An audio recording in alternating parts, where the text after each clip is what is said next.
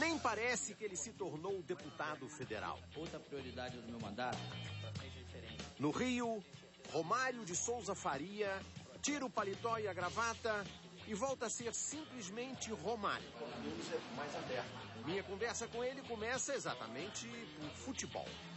Por uma lista dos maiores craques de todos os tempos.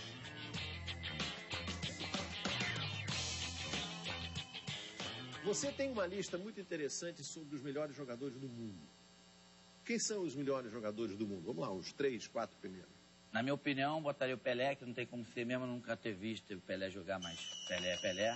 Você nunca viu o Pelé jogar? Não. só na televisão, é, só no é, Na verdade, assim, eu nasci em 66, né? E comecei mesmo a, a entender o futebol depois dos 10, assim, 76, uhum. 80. E nessa época, se não me engano, o Pelé já tinha, tava quase meio que parando, já tinha parado. Tinha né? ido pro Cosmos é. de Nova York e, tal. Primeiro Pelé, depois Romário. Romário, é. Eu falei para vocês que quando eu nasci, o Papai do Céu apontou o dedo e falou: esse é o cara. Maradona, Maradona em terceiro. É. Assim, tecnicamente, é, com certeza o Maradona foi o jogador mais completo que eu vi jogar de todos. É, eu posso me colocar na frente dele pelos títulos que eu, que eu ganhei mais que ele, fiz mais gol que ele. Mas é, muitos não concordam, até ah. entendo, talvez seja até a maioria daqueles que conhecem o futebol, porque muitos colocam no mesmo nível do Pelé, é um direito de cada um, mas por essas pessoas terem esse direito, eu também tenho o meu, né? Claro. Romário se aposentou do futebol aos 40 anos, depois de igualar a marca do rei do futebol. Agora, me conta uma coisa. Você é o único jogador que, no mundo que tem mil gols como o Pelé. Mil gols. Mas a nível de, de, de, provas, eu falo pelos meus. Eu tenho os meus comprovados a nível de, de imagens e de... E de é, registros? Registros. É. Uhum. Muitos, todos, quando muitas, já, já li muitos, muitas reportagens, é, Romário, o segundo do jogador a fazer mil gols, segundo ele, tem sempre essa coisa, segundo ele. Mas o segundo ele está lá, ó, confirmado e comprovado. É só levantarem para ver se tem alguma coisa é, diferente. Romário jogou duas Copas do Mundo. Foi campeão em 94. A despedida deveria ser em 2002. Seria. Romário não foi convocado, ninguém entendeu por quê, nem ele. Como é que foi que você não foi jogar no Japão e na Coreia? Você ia jogar? É, na verdade, foi no, na, na, na, seleção que foi campeão do mundo, né? Isso. O, o, o escolar. O, o Filipão era, foi o treinador. Ele chegou e na primeira convocação dele me convocou, foi contra o Uruguai, e de lá para cá nunca mais me convocou.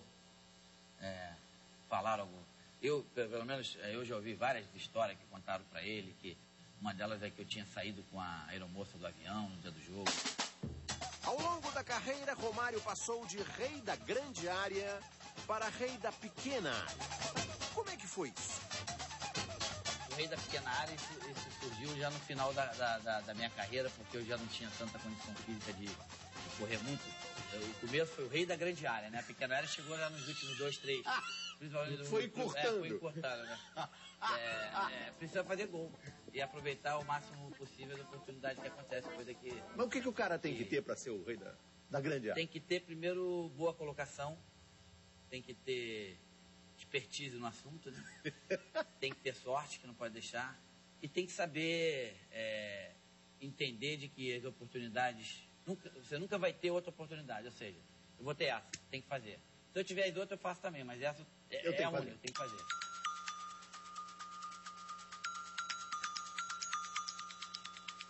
Atenção especial às pessoas com deficiência. Como deputado, Romário já marcou os primeiros gols.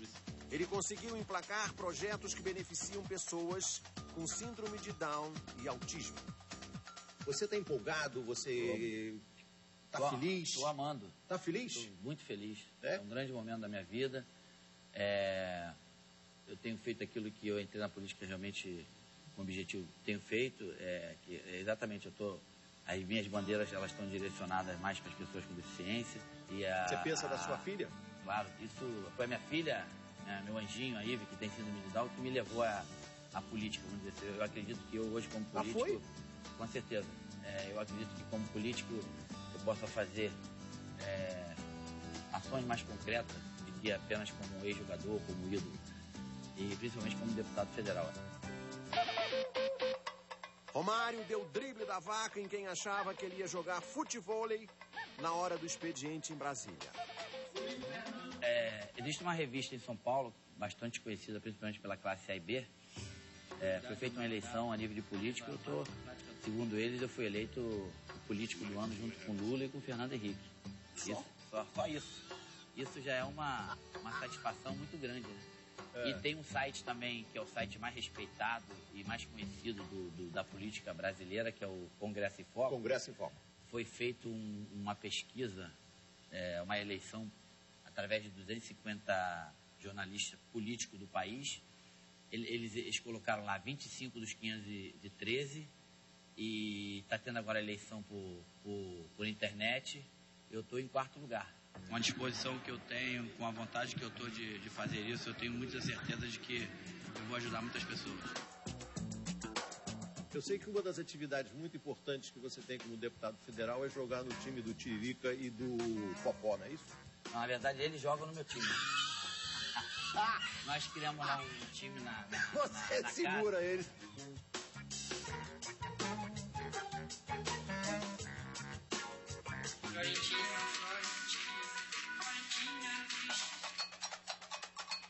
Romário não podia ficar de fora do Pan-Americano de Guadalajara, no México. Ele é o novo integrante do time de comentaristas esportivos da Record. E que tal? Você já foi comentarista esportivo, não já? Já. E que tal voltar agora em Guadalajara? Fico feliz por esse convite. Como te vai falei, ser divertido. Vai ser vai divertido. Divertido. Vai ser vamos divertido. estar junto lá. Vamos estar junto. Outros Vamos estar grandes nomes do, do, do esporte vão estar lá Claro, também com a gente. A gente vai farra. fazer um time bom lá. Vai ser uma farra. Voltamos a falar de craque de bola. Agora dos craques do futebol de hoje. Deixa eu te perguntar uma coisa, Romário. Desse futebol que você está vendo hoje aqui no Brasil, é, é o Neymar? É o gênio? Ah, o Neymar é um dos melhores. É? Eu, eu colocaria o Dança e o Neymar como os dois grandes jogadores que nós temos no momento. Podem vir a ser, ser gênios, podem vir a ser craques. Hoje são dois jogadores de grandes níveis que fazem a diferença. Mas, assim, eu sempre falei, você, quem me acompanha, assim, um jogador para ser é, alto nível, é, fora do, do- do normal, ele tem que ganhar uma Copa do Mundo. E eles não tiveram oportunidade, Claro. eles vão ter em 2014. E eu acredito que eles dois possam fazer essa diferença. E eu, como modesto torcedor do Fluminense, puxei a sardinha pro meu lado. Mas se você fosse, fosse técnico do Fluminense, por exemplo, que é um time muito simpático, como você sabe, Charmoso. charmoso. Se o fosse técnico do Fluminense que tivesse o direito de levar um jogador, você levava o Neymar, o Lucas ou o Ganso? Hoje levaria o Neymar. Hoje. né?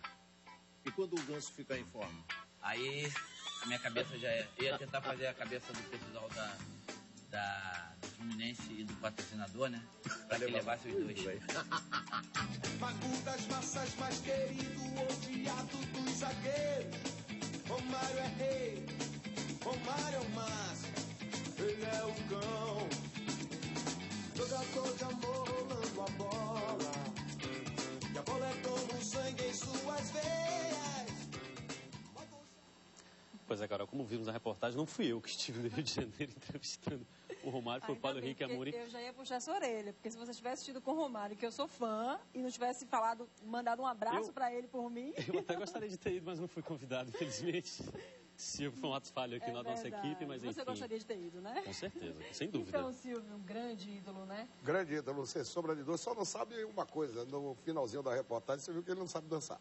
Né? Ele tentou dar um jeitinho Não ali. leva jeito, Tem que né, vir para Bahia para pegar o molejo da Bahia. Agora, como jogador de futebol, foi fantástico, maravilhoso. Eu só vi três jogadores hoje que eu bato palmas. É, o Beckenbauer, o Pelé e o Romário. Esses três jogadores são consagrados na minha história de visão no futebol. Agora eu espero, Romário, que você, como político, siga essa grande carreira de jogador, porque você aí vai fazer muito gol de placa na política brasileira. Porque na política brasileira está cheio de cara que faz gol contra. Silvio, a gente agradece mais uma vez sua participação aqui. Tenha uma boa noite. Boa noite, Silvio. Muito obrigada Boa por noite a mais você. essa participação sua aqui Boa no noite a todos. Faltam 11 dias para os Jogos Pan-Americanos de Guadalajara. Aqui na Record estamos em contagem regressiva.